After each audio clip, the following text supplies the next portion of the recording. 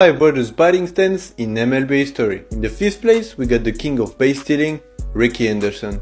He was not only a hell for pitchers when he was on base, he was even more when he was batting with his stance. He was bent over so far forward that his strike zone was ridiculously small.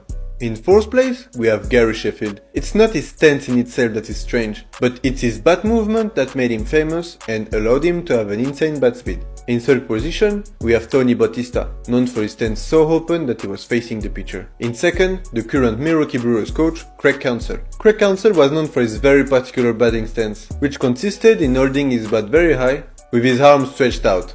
And in the first place, who else than the Greek god of walks, Kevin Youkilis. He has by far the strangest stance in MLB history. His bat went over his head like a samurai, and his right hand was pinching his bat with two fingers. Why was that? We don't know.